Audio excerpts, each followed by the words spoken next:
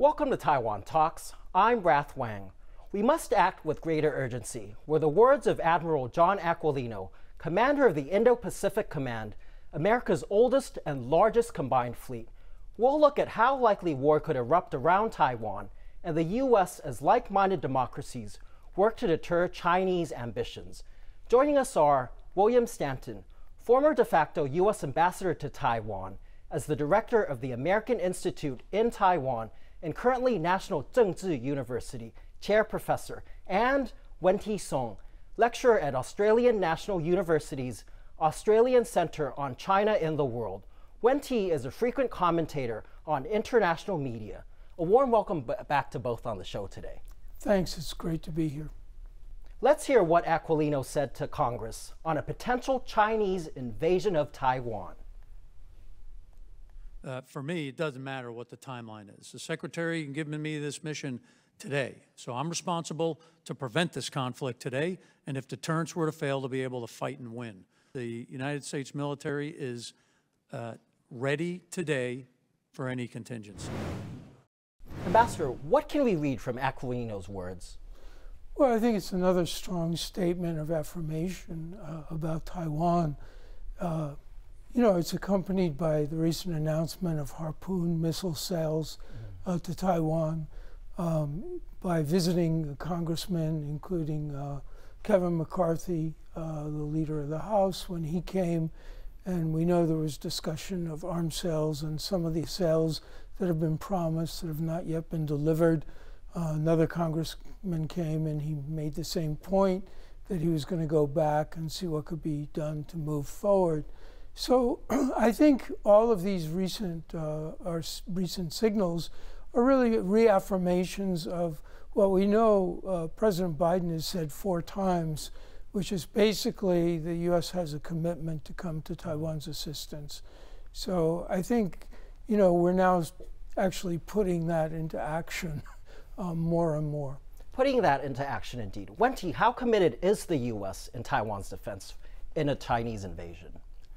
I think it's pretty clear by this point that U.S. sees uh, the peace and stability of Taiwan Strait and obviously Taiwan itself as a matter of great international concern. You see that from American statements, uh, both unilaterally, bilaterally, multilaterally, uh, that repeatedly underscore the importance of peace and stability of Taiwan Strait. And naturally, as a leading power of the current uh, rules-based interna international order, you expect U.S. to be willing to play a significant role in terms of maintaining Taiwan's continued uh, security and stability. Ambassador, I wanted to go back to conversations around 2027. It was also mentioned in Aquilino's um, um, Congress um, session. He talked about it, about how his predecessor used that as a date when the PLA will be ready. What are your thoughts on this date? What's the significance? I think all these dates that have been floated are really speculative. Um, I think that was premised on possibly the earliest likely that might, something might happen.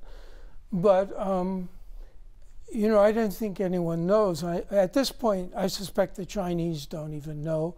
And increasingly, as they see strong statements, including from Japan, from the United States, when they see the increasing cooperation between the United States and the Philippines, when they see other activities, it's going to give them pause and think about what the consequences would be. Also, the war, uh, Russian war against Ukraine, continues not to go all that well.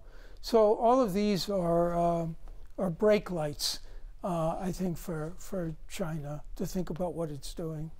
Wen-Ti Aquilino also mentioned that he's ensuring that that day is not today referring to a Chinese attack when Xi Jinping might say, okay, today we'll invade Taiwan. What do you feel in terms of what the U.S. is doing? Will China will one day feel, okay, today we can do it? Well, it's uh, it's anyone's guess, and I I'll imagine that um, Xi Jinping may not even necessarily know at this point, or even if he does, he might can still change as all humans do, and that's why I think you see the U.S. Indo-Pac uh, commander making a remark to the effect that uh, it's not necessarily uh, U.S. is gonna not going to center its defense planning around this particular guess or that particular estimate of what China has in mind in terms of when they plan to launch an invasion. Rather, the focus shouldn't be on that political planning as we do guesswork from the outside. Rather, it should center around trends in China's military capability building over the years. And that's why uh, that commander said that uh, they are going to be accomplishing the mission today, tomorrow, and where, whichever day down the road in the future. But are well. we seeing significant changes in the PLA? Oh, definitely. I mean, we see you. Uh, we see the PLA building its military, building its naval power projection capabilities, especially uh, so much so that many commentators begin to wonder whether the PLA has achieved some level of at least some dimensional uh, conventional superiority in the Taiwan and nearby theater militarily, and that's why it gives U.S. a greater sense of urgency in terms of playing catching up, both qualitatively and quantitatively. Speaking of catching up, Ambassador, you've represented the U.S. for many, many years. Do you feel America is doing enough? Well, because I'm very partial to Taiwan, I would like to see the U.S. always do more. But I think it's taken a number of steps recently we've seen, including, for example, uh, uh, the agreement with the Philippines to open more bases uh, that can be used by U.S. forces. Um, we've also seen, um, I think, statements coming out of Congress showing uh, that it's not only Biden, but it's it's one of the few issues on which both uh, houses, both sides of the Congress, the Democrats and the Republicans, have made statements in support of Taiwan. We've also seen others like Japan saying, you know, I think it was Kishida who said, you know, if it's a problem for Taiwan, it's a problem for, uh, for Japan as well. So I think there's been a confluence of opinions and uh, statements and uh, recent developments which indicate that indeed those uh, forces in support of Taiwan are strengthening. In, in terms of the substantiative measures by the U.S., um, Wen-Ti, do you feel these four bases that the ambassador mentioned in the Philippines, where the U.S. can use it to support Taiwan if it chooses to, is this sufficient for Taiwan's defense? Well, I would say that it's a step in the right direction. Uh, that's definitely uh, what we're looking at right here. But the And, uh, proximity is super close to Taiwan if you look at it from a map. Uh, indeed, I mean, uh, I think that's why what U.S. security plan has been about uh, recently as well. They're trying to boost their access to Japanese uh, military facility and now to Filipino uh, security facilities. And when you have AUKUS kicking in a few years' time, uh, in a more substantive way, of course, you will see U.S. nuclear submarines based in Australia on a more well, not based in technically, but having a rotational presence in Australia as well. Again, this is all about extending U.S. extended deterrence in the Indo-Pacific theater. And the submarine deal as well. That's certainly a major part of it, yes. And that will, of course, not only increase America's immediate presence itself, but also increases the capability of other like-minded allies, such as Australia, that have a role to play in the regional uh, stability maintenance as well. Bases are an important step because otherwise the foreign minister of China would not be visiting the Philippines to complain about it. So obviously they're upset about it and would attempt to uh, get the uh, Filipinos to draw back. So, Ambassador, you see that as a sign, a positive sign that China is reacting. I, I think it's very positive. Um, uh, they didn't, uh, when Duterte was president and basically said, oh, we're, we're going to have a love affair with China, um, you didn't see that kind of attention to the Philippines. In a sense, um, Marcos, the current president, has learned the lesson when he saw the results of Duterte's, um, uh, you know, uh, friendship offering to the Chinese. They just took advantage of it, and they never delivered it on their promises for a lot of money. But China also seems to react to many things. Do you feel this is because of the substantial effect, or is it because of um, the symbolic gesture that it always reacts on? I think it's both. I mean, I think they like to, uh, anything they don't like and they see happening, they're always going to speak up about it. But to get the foreign minister to visit the Philippines, I think is a little bit more than that. It's more than just a statement coming out of Beijing. So I think I think they are really uh, a bit concerned about the current trend that's occurring in East Asia. Wen-Ti, I also wanted to go back to what you mentioned earlier on Australia. This is the first time that, or its role has been inflated in terms of the military drills. Do you feel this will change the dynamics? As we've seen, you know, the U.S. joint military drills with the Philippines, Australia actually was a part of it. Yeah, there was an Australian uh, contingent, uh, Australian regiment rather, that participated in this round of exercises, exercise shoulder to shoulder between U.S. and Philippines. And uh, yeah, again, you're seeing Australia being one of the, if you will, sovereign anchor of America's Indo-Pacific strategy, uh, having its presence felt more in the northern part of the Pacific, uh, with a very likely uh, target in mind, and that is to increase its ability to play a positive role in maintaining, hopefully deterring a Taiwan Strait contingency from ever happening.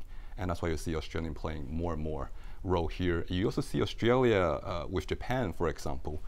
Uh, you see them in their Australia-Japan 2 plus 2 security consultative meetings between their ministers, where they both commit to, again, saying how they highlight and underscore the importance of peace and stability in the Taiwan Strait.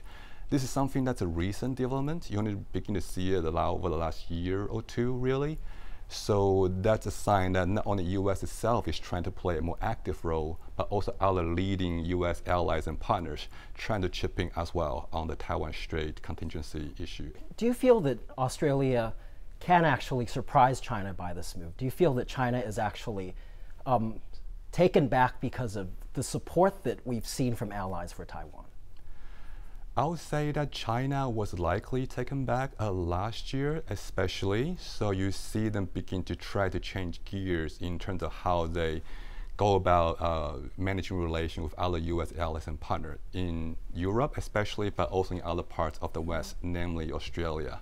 Mm. We see them trying to, let's say, for 2020, 2021, a lot of time is about China using a killing the chicken to scare the monkey mm. strategy, trying to make example of countries like Australia, which might have rubbed Beijing the wrong way, e.g. on Taiwan issue. So it was a lot of fire, fear, and rhetoric, including economic sanctions from China towards Australia. But after a couple of years, China probably realized it's not scaring off any more monkeys anymore. So by that point, they may as well change track. So you see them reaching out to Australia a bit more, and you're beginning to see uh, Australia talking more softly towards, uh, sorry, China speaking more softly uh, towards Australia lately. That's why we see like um, the um, relax of sanctions towards Australia and uh, agricultural products and all that. I, I mean, I was very struck by Penny Wong, the foreign minister of Australia, very strong statement saying, well, in a, in a sense, our relationship with uh, the United States is indispensable. And she was criticized from the left for making that statement. Uh, there was a long uh, a long op-ed that was written attacking her, uh, which interestingly enough quoted uh, Kevin Rudd. Uh, Kevin Rudd himself has always been a bit wary of uh, this relationship with the United States. So that had a certain audience, I'm sure. But Penny Wong didn't pull any punches in saying that we have to have this strong relationship with the United States. And then we also saw um, after the Macron visit, uh, you know, uh, to Beijing, and his strong statements uh, basically, well, we're not, you know, we're not uh, a tail being wagged by the American dog, in effect. Um, we then saw the parliamentarians in France as well as in Germany come out with a statement of support for the alliance with the United States. So I think, you know, those who have gotten out of line, in a sense, with the idea of unity of the alliance, I think they've they've come under criticism now. And you could say that Macron actually walked back a part of its um, what he said in terms of Taiwan and saying that French policy towards Taiwan has not changed. Yeah, a little bit, but um, we know where his heart is because, uh, you know, I, I, I think, um, you know, no surprise, I think he's no fan of the United States. He's also um, no fan of the idea that France might have to give support as an ally of uh, NATO ally in the event there were a conflict with China. So I, I think his true colors have already been shown, uh, but yeah, maybe you could say he walked it back a little bit. but I don't think his true feelings have been hidden. We'll see what happens with France and other U.S. allies. Let's now hear from Eric Huang, Deputy Director of Taiwan's largest opposition party, the KMT's International Affairs Department. Huang is currently based in Washington, D.C. Eric, the U.S. Indo Pacific Commander, Aquilino, mentioned that the U.S. must be ready to prepare to fight in a Taiwan conflict. How do you read his comments? I think he has stated obvious. I think America, whether it is in the European arena or into Indo-Pacific uh, place, area, I think the United States is always ready um, to fight and defend democracy against any uh, challenger of international order. Uh, I think what is more interesting is that he uh, stressed the fact that uh, Taiwan in Taiwan Strait, uh, America has to be prepared. I think this is just a reaction to the reason um, in the past few years the Chinese aggression towards Taiwan and uh, is military activities in Taiwan Strait. Being in Washington, do you feel that U.S. China tensions have come to a boiling point? I think we're definitely at a tipping point. I wouldn't, I don't know if we are the boiling point yet. I, I can see some people slamming the brake. I can see some um, some scholars and like uh, try to cool down this tension. And I think uh, the Biden administration and Xi Jinping, Beijing, they uh, both have intentions of doing so.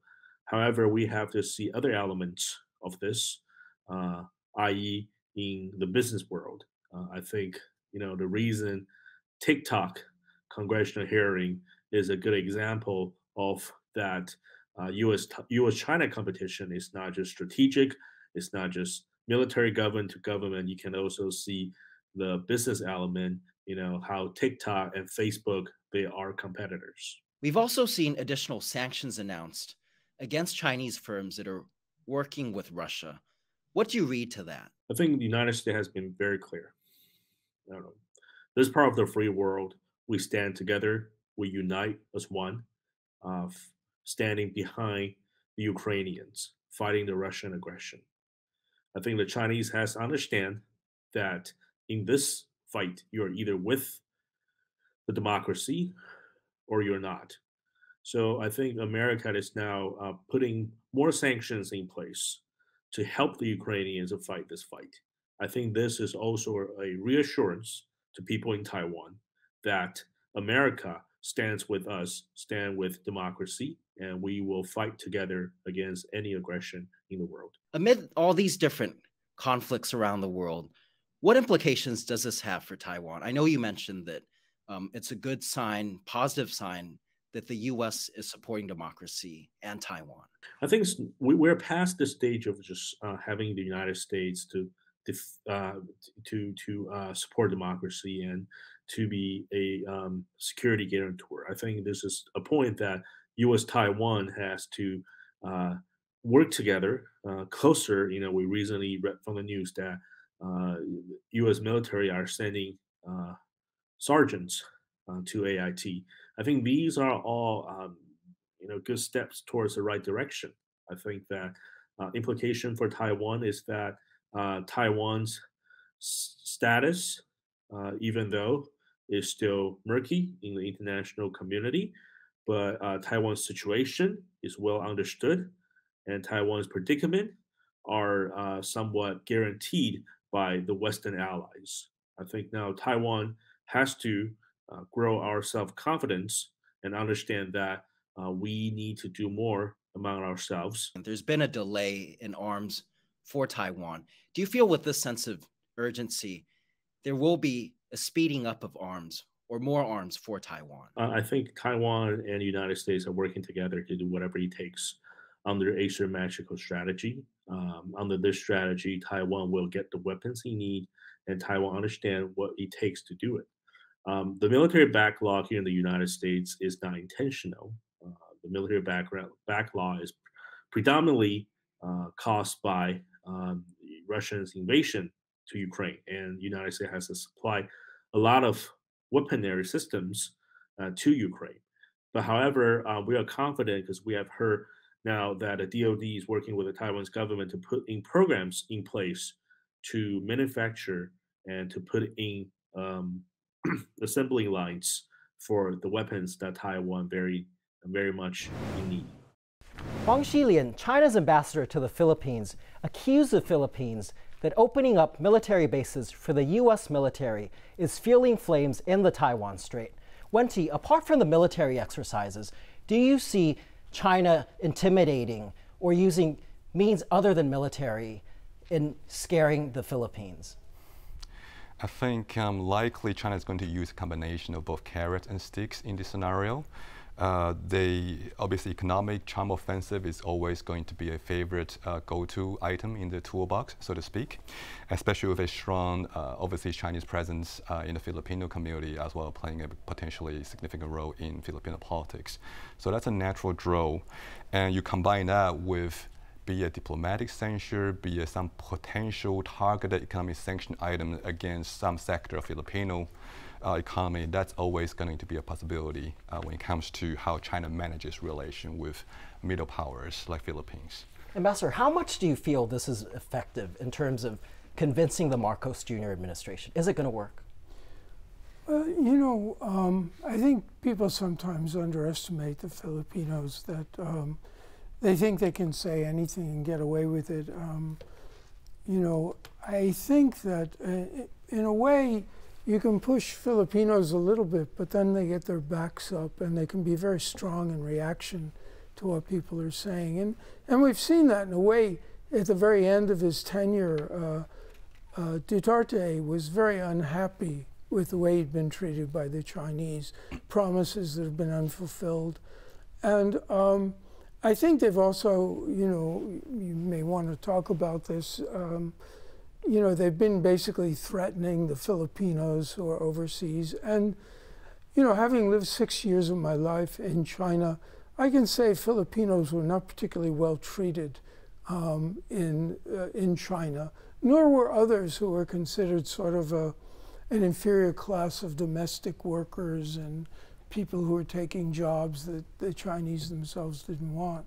So I think this kind of superior attitude that China carries, particularly as it's become more prosperous, is not a winning hand when you're dealing with countries like the Philippines or countries from Southeast Asia, like the way you deal with the Vietnamese and other countries which now currently supply a good bit of the, a good number of the domestic workers and, uh, and factory workers in, in countries like China. Wen-Ti, how do you feel the Filipinos or even the Filipino administration is taking the unveiled threat that, the Chinese ambassador said in terms of the 150,000 Filipino workers in Taiwan? I don't think that message is going to come across very well at all uh, for China. And uh, naturally, when China tried to threaten other countries with such diplomatic rhetoric, uh, it may be effective if you're able to single out a country at the time, but the challenge for China right now is that it's rubbed quite a number of countries the wrong way uh, by this point, and there's no real way that China can take on so many adversaries at the same time. So that means that China diplomatic threat now is increasingly going through somewhat of a credibility gap, if you will because it can credibly take on everyone at the same time. And yet, in many ways, that's what it has been doing. And when everyone's been going through that together, it gives it a lot more reason, both for domestic political reasons as well as foreign policy reasons. It gives them reason to band together great, uh, a lot more. And that gives them security number, which make China diplomatic language a lot less effective when it comes to intimidation. Couldn't have said it better. I mean, Wen-Ti actually said what I would have said. I think he, he, and there's no need to repeat that. to add on that, do you feel that there actually is a sentiment for Taiwan because um, anti-sentiment on China will translate to Taiwan. I think it does. Um, you know, one of the things that everybody recognizes about the Taiwanese is that uh, they're basically peaceful people. And the Filipinos uh, see that. And the Filipinos see that. And, um, you know, you, you, don't see violence. You don't see uh, anger, angry outbursts, you know. And you're talking about the South China Sea, how China's going in and yeah. doing things in, that seem to be un, unwelcome to the Philippines. Yeah, and so, you know, they're treating the Filipinos the way they treat the, the Taiwanese. Mm.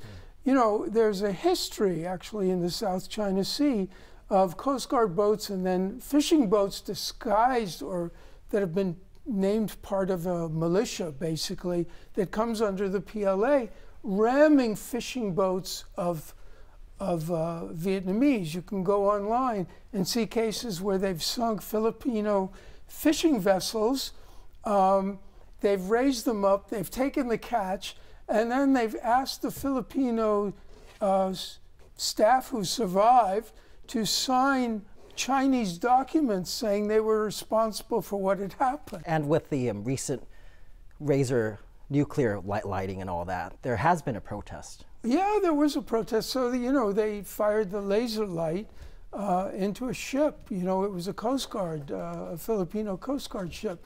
So if you treat people like that, it makes everybody angry, and everybody says, Me too. That's how they treated us as well. So, uh, as Wen-Ti has pointed out, I think there becomes a consolidated opinion among many neighbors that, you know, the Chinese have a habit of bullying everyone, and it's, it's not working very well anymore. And Wen-Ti, so that comes to Qin Gang, the Chinese foreign minister's trip to the Philippines. What do you think he aims to achieve here?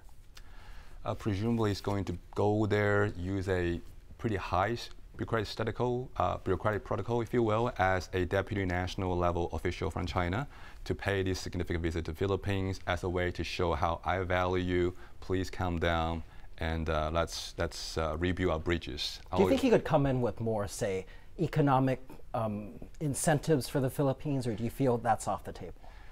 Uh, that depends on who he brings with him to the Philippines on his delegation. If it's got people from the more NDRC, uh, which is more macroeconomic planning agency, or the more commerce department kind of people, presumably some kind of economic goodies could be in the offing. But if it doesn't, if it's just mostly foreign ministry portfolio people that go with him, then it's hard to expect there to be much more than a symbolic gesture uh, to the whole trip.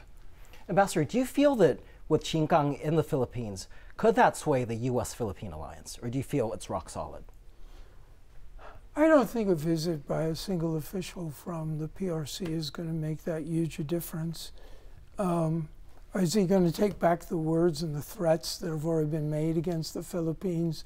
Is he going to say, well, we're really not going to endanger the 150,000 Filipinos who, uh, you know, we're, we're, we're not threatening them?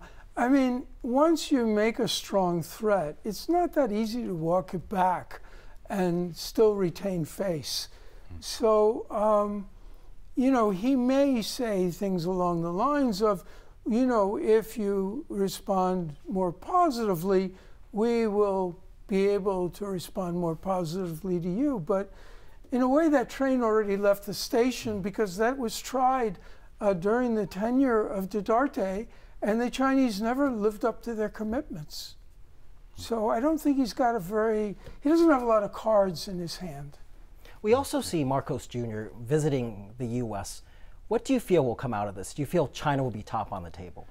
Yeah, if I may add one more thing to the ambassador's comment just now. Um, yeah, I think it's definitely a, a concern there uh, when it comes to Qin Gang's trip to the Philippines, because a traditional rhetoric that China diplomacy uses a lot is uh, let's look past our differences, let's rebuild a positive atmosphere for exchanges. And pretend that nothing happened. Yeah, and when they say that, it's usually saying, hey, how about you give an inch so that I can give an inch too and reciprocate and we get a sort of positive virtuous cycle rolling. But that still is basically saying, how about you make the first concession? Now, at this point, after China just made that kind of comment to the Filipino people, it's hard to see Filipinos making the first concession by this point. Uh, it's hard to see any Filip- Filipino politician to be in a place to feel comfortable politically, to be the one to be seen as caving in to a Chinese threat. So, what would be the first concession if the Philippines were to make it? You said it's difficult. the first concession, at this point, it's pretty hard to imagine, really. Mm. A concession would be something like a statement to the effect of, we still value the, the vibrancy of Philippine-China relations. We are willing to work over our differences, differences and bridge our differences and find ways to work together towards some joint prosperity. Although the foreign like minister that. did say that he adheres to the one China policy. Uh, yeah, as Filipino define it, of course, and that's the second hat that can be left unsaid for again maintaining that positive atmosphere for dialog quote unquote. Ambassador, what do you think? You've been in the area for decades. At this point, the Filipinos can do very much. Um, as Wen-Ti said, I think they might be willing to make some sort of statement about, uh, of course, they seek uh, peace with all their neighbors. They're not looking for an adversarial relationship. They might repeat that they support the one China policy, but of course, that always implies, as we interpret it, because the United States also says it has a one China policy uh, that's pro forma, and then we say, yeah, and we're sending more uh, arms to Taiwan.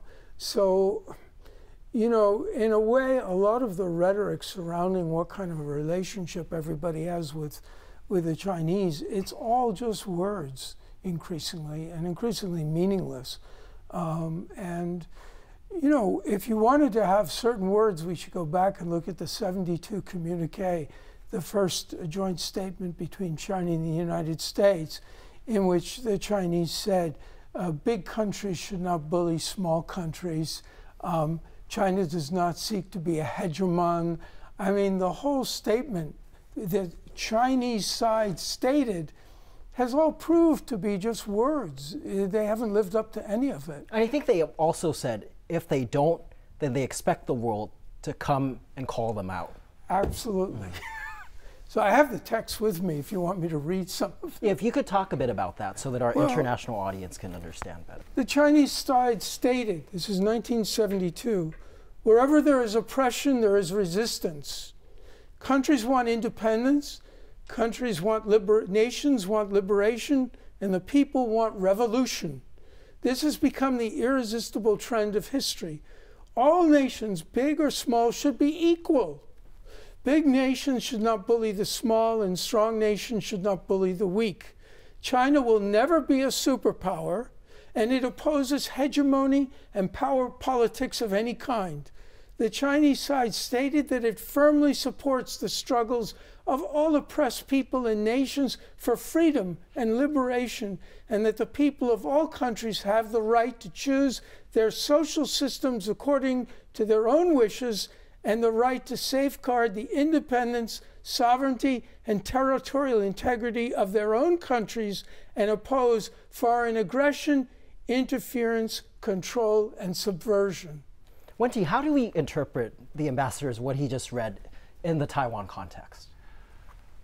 Right. Uh, obviously, at that point, if you're talking about 1972, that's when China was trying to get into the UN. Uh, actually, having just made it into the UN uh, as a PRC. So I guess Taiwan may not be as directly involved with that statement per se, but what it does suggest is that when China, the PRC, was in a position of relative weakness in terms of power level, if you will, it was trying to reassure the world that, hey, how about you help me out? And that when one day I become strong, I will be a benevolent power rather than another one of those strong guys that will bully and throw my weight around. Do you feel it's acted as a benevolent ruler or a benevolent party in this case? I think that would be a topic of major contention for sure. Uh, what I can say is that in 2010, if I believe correctly, uh, then the it was the foreign minister at the time, Yang Jiechi, who said at a meeting of ASEAN uh, to something to the effect of uh, China is a big country and ASEAN and Southeast Asia are smaller countries. That's just a fact, quote unquote. The ASEAN Regional Forum, attended by Hillary Clinton, and uh, Yang Jiechi got up and walked out of the meeting after uh, the U.S. representative, who was Hillary Clinton, uh, made a statement to the effect that the United States uh, hoped for a multilateral um, joint agreement on the handling of the South China Sea. And at that point, uh, very infuriated, uh, uh, Yang Jiechi got up and walked out of the room and didn't return for 20 minutes. When he sat down, and I, I know because I reported on this, he looked across the table where the Singaporean representative was sitting, and he said, Some countries are big and other countries are small, and that's just a fact. it's interesting how things have changed. How, how the world has changed. So be careful what you say in 1972, because some years later, you won't think the same anymore. We fast forward to 2023 now. I spoke earlier to Gerald DiPippo, Senior Fellow with the Economics Program at the Center for Strategic and International Studies. He focuses on China and joined CSIS after 11 years in the U.S. intelligence community. Gerald, the U.S. announced new sanctions on Chinese companies that have links to Russia.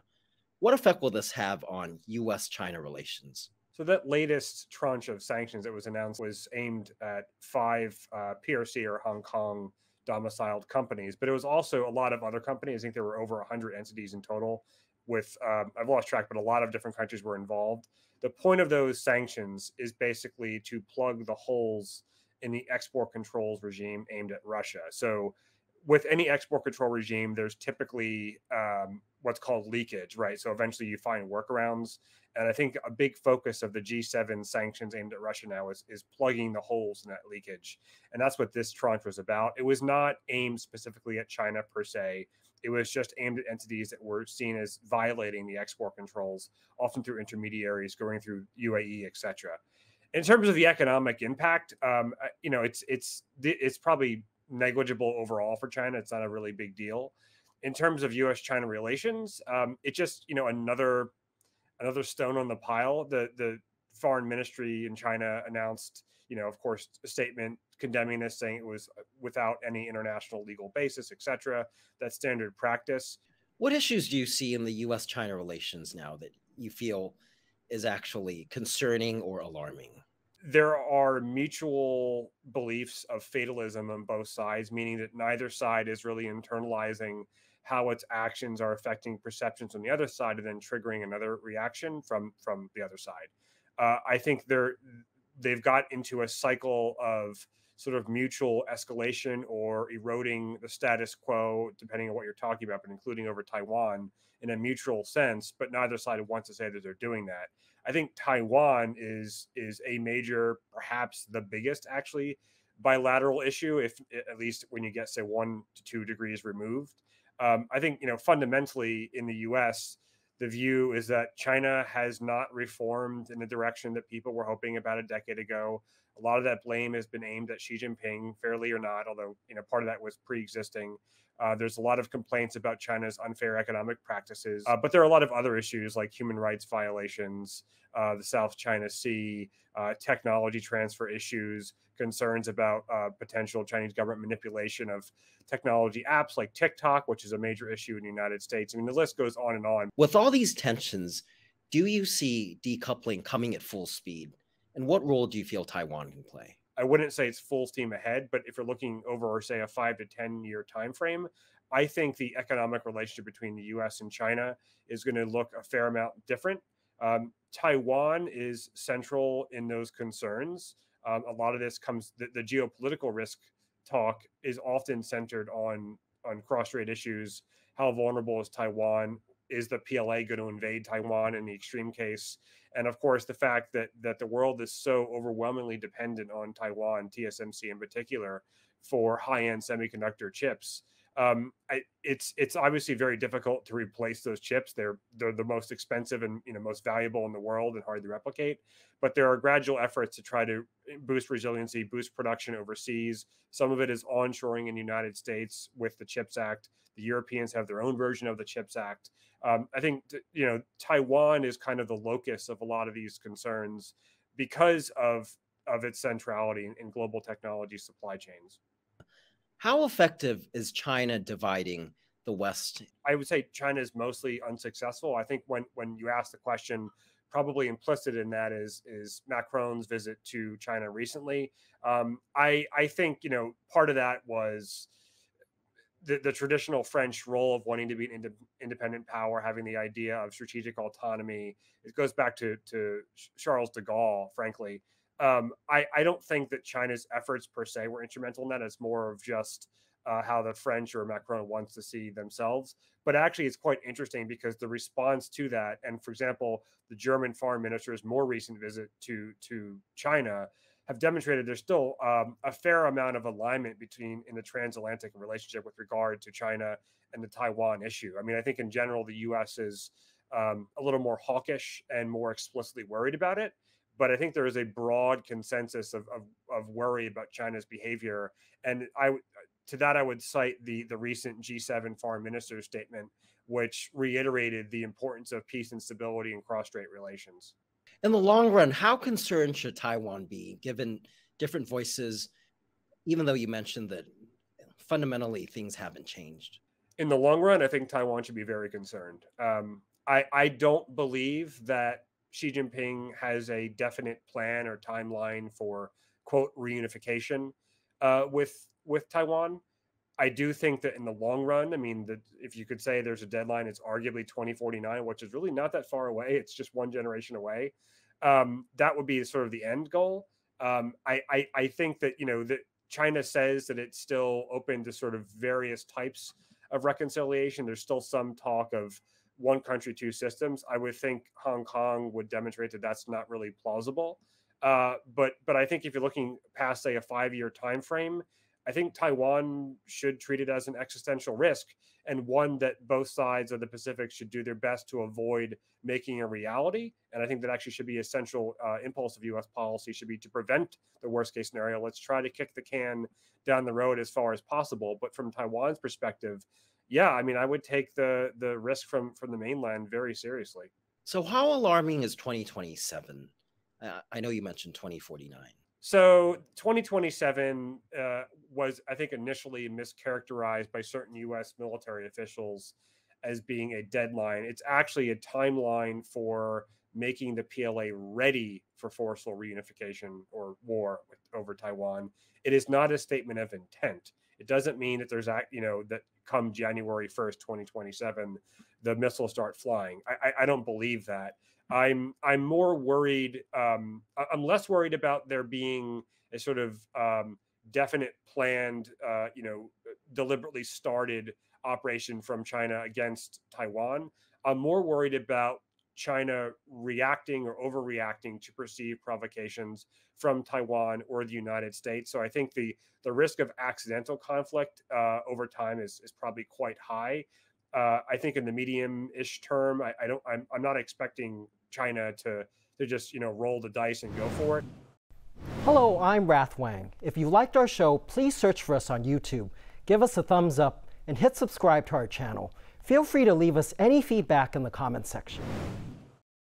The U.S. is Taiwan's largest security guarantor, as Taiwanese conscription is extended to a year with the boost of U.S. personnel training Taiwanese combat troops. Wen-Ti, I wanted to ask you, how immediate do you feel this will have an effect on Taiwan's um, de deterrence capabilities? Well, when it comes to Taiwan's capability and deterrence, really there are two components to it. One of is the actual military capability, the other one is more diplomatic signaling. The military capability part, it will take a little while for the military training to be fully implemented, fully immersed, and then pass on to the next generation and next tier of uh, the next crops of soldiers, if you will. So that would take a little while, but it's always good to be starting now rather than later. That's one thing. The other thing is about diplomatic messaging, and on that, I think that will have a significant effect right there. Uh, that's a sign, again, of U.S. commitment to Taiwan's defense. And uh, that's also a way of improving the interoperability of the forces between Taiwan and U.S. and potentially other regional partners through this process. And this kind of thing will likely improve the capability uh, in the time of conflict and hopefully then before the conflict, the very sending of this signal will go some way towards deterring and dissuading other actors from making risky gambles on Taiwan. Ambassador, you led the AIT as America's top envoy in Taiwan. Do you feel that this is a significant um, increase of troops here? Do you feel it will be very effective? Well, I, I think actually it's the reason we have more troops coming in is because it's a requirement that the U.S. military imposes. If you're going to give people new weapons, you have to give them guidance on using those weapons, on maintaining those weapons. And so it's sort of natural that if new weapons are coming into a country, there's going to be some U.S. troops that are going to go along with it. I think it's not, the idea is not that those 200 troops are actually going to be fighting. Uh, that's not exactly Although the they're training Taiwanese troops in They're combat. training the Taiwanese tro- troops to fight. So I wouldn't make too much of uh, the 200 troops, although China's talked about it as if those are forces that are being added uh, to the Taiwan military. I think that's a misreading of what the situation is. I think the most important thing is that we continue to provide weapons to Taiwan that it needs, and then that we provide the training forces to go with it to help them know how to use and maintain those weapons. Uh, so, and to use them most effectively. Um, you know, I think more significant is simply the fact that Tsai Ing-wen made the decision that she was going to um, undo what I regard as a mistake that was made by Ma Ying-jeou when he reduced conscription from one year to four months, which all the young men that I've ever spoken to at different universities have always said, if they've been conscripted, that a four-month conscription is really sort of laughable because there's too little that can be learned in that period of time. So that's the more significant development as new troops begin to join the Taiwan military. Hopefully, they'll get the kind of training they need to be a more effective force. Wen-Ti, I wanted to go to a recent comment by both the UK foreign minister and also the president of South Korea saying that Taiwan conflict or war or some kind of military outbreak within the Taiwan Strait is not a Chinese internal matter. What do you say to that? I think that's how they strike a balance between finding a way for greater international involvement on the Taiwan Strait issue. Does that also mean there's more support for Taiwan? Of course, uh, I think that's that's pretty much the, the main message that's trying to, to send. And of course, these actors, these other countries, they always want to find a balance between showing support for Taiwan by drawing in more international involvement without directly crossing Beijing's red line, in, uh, quote unquote, uh, internationalization of Taiwan issue. So that's why I think they're saying uh, whatever happens in Taiwan and around Taiwan Strait is going to have global level uh, reverberation, and that's why stakeholders around the globe will have a natural reason and interest to become more involved in shaping or preventing particular outcomes. And that's how I think they find a way into uh, making more engagement of Taiwan and Taiwan Strait issues. Ambassador, I wanted to point to a recent comment by the Chinese ambassador to France that he questions the sovereignty of foreign Soviet republics. What does this mean in terms of the context of Taiwan? Well, in a sense, he's opening up the, uh, the sovereignty of every nation in the world up to question. Because we could also ask, um, you know, by what right did, uh, did the Soviet Union at one point control Belarus and then decide it could be broken off?